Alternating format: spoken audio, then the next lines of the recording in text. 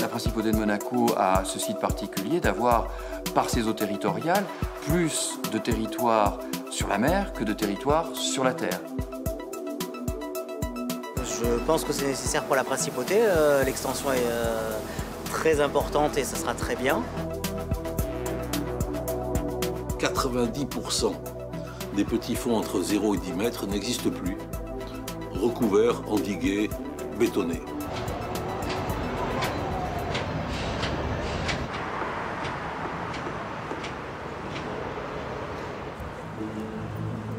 C'est le lieu incontournable pour immortaliser l'instant.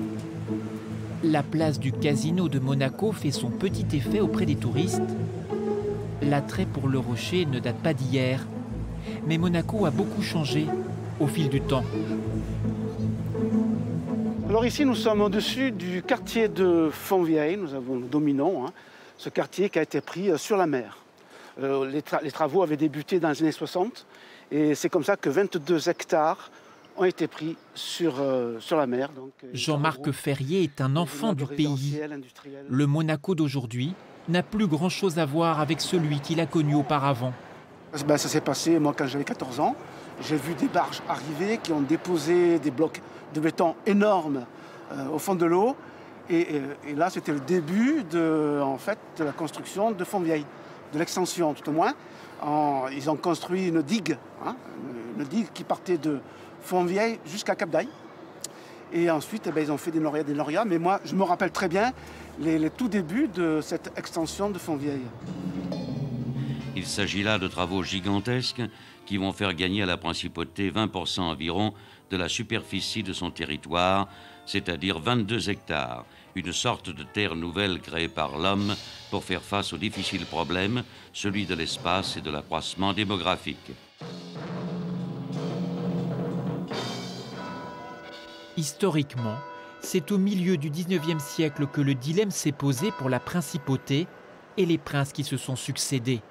Comment s'étendre lorsqu'on dispose d'un territoire exigu Comme l'explique cet historien qui travaille au service des archives du palais, la géographie du rocher ne laisse que peu d'alternatives la principauté qui avait compris pendant cinq siècles non seulement Monaco, mais aussi Menton et Roquebrune, donc qui formaient un ensemble d'environ 25 km, se retrouve du fait d'une révolution, du fait d'une sécession, réduite comme peau de chagrin à un territoire de 1,5 km, c'est-à-dire à peu près euh, une bande littorale de 4 km de long avec 500 mètres euh, d'épaisseur d'épaisseur qui est adossée euh, à la montagne, donc euh, qui rend évidemment euh, très difficile. Il y a la frontière politique et puis il y a les contraintes topographiques, tout simplement.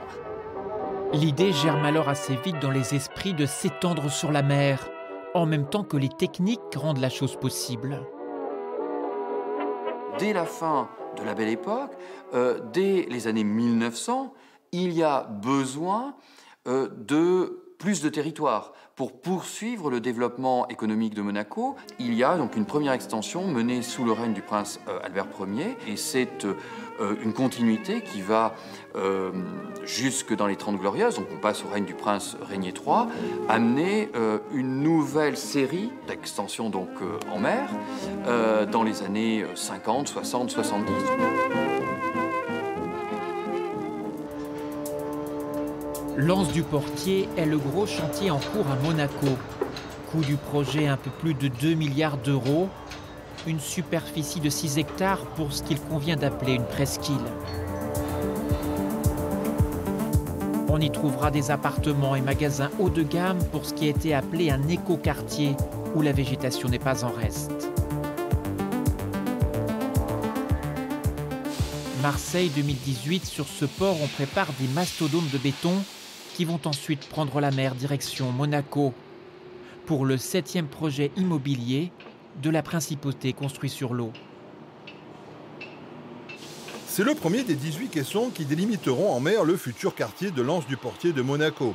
Une structure trapézoïdale de 27 mètres de haut et de 28 mètres de côté, un monstre de fer et de béton pesant plus de 10 000 tonnes.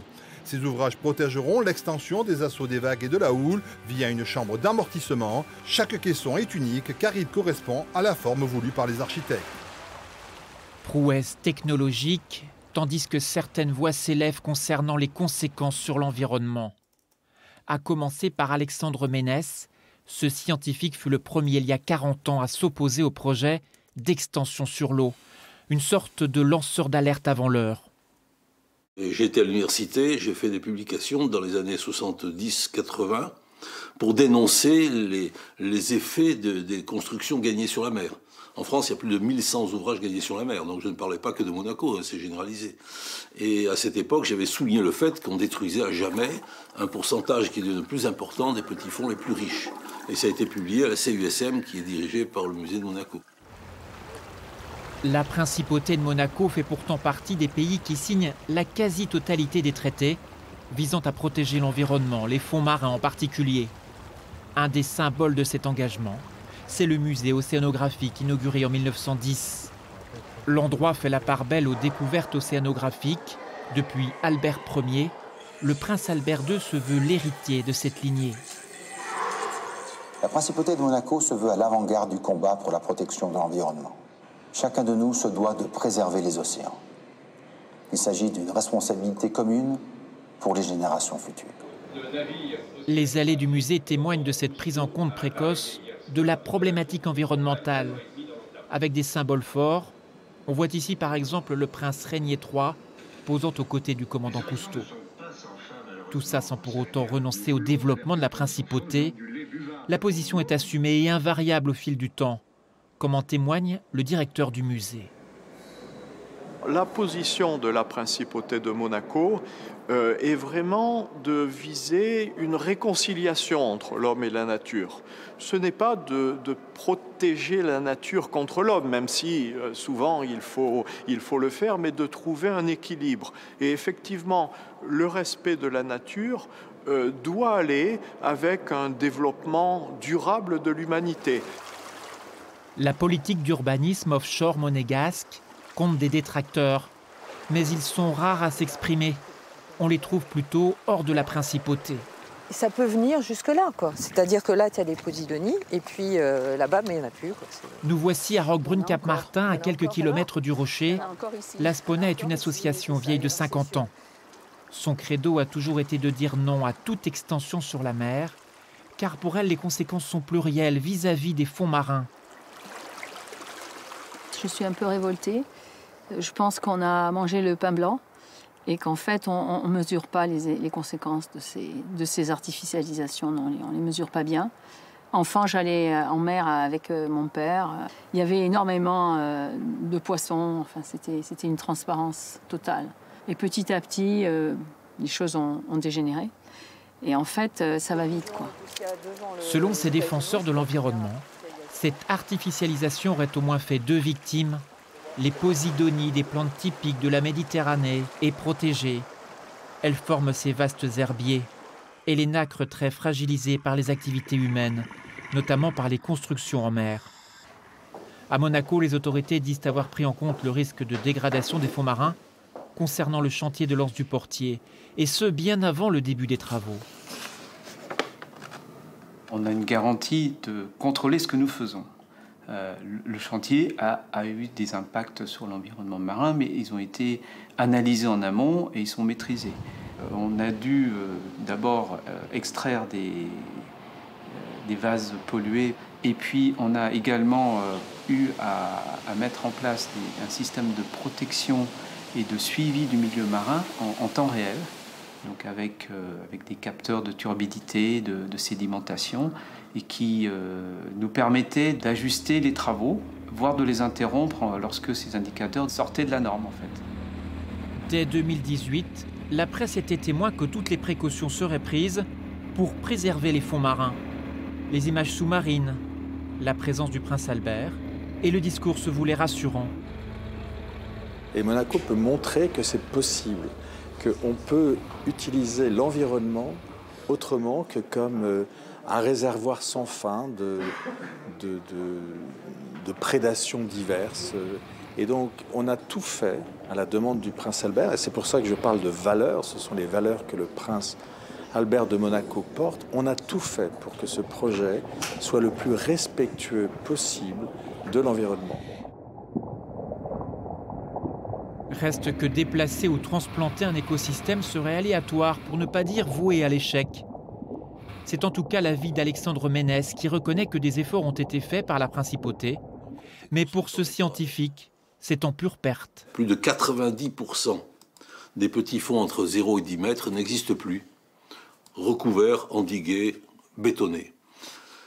Entre 10 et 20 mètres, c'est 67%. Et même entre 20 euh, mètres et 50 mètres, il y a un pourcentage qui atteint 16% de destruction aussi. On commence à grignoter les, fonds plus importants.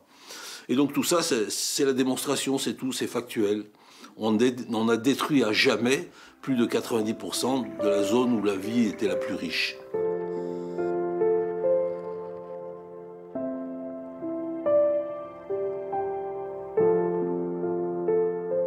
Pour Hélène Granouillac, à la tête d'une association écologique basée à Nice, la posture de Monaco confinerait à l'inconscience, à travers notamment le projet immobilier en cours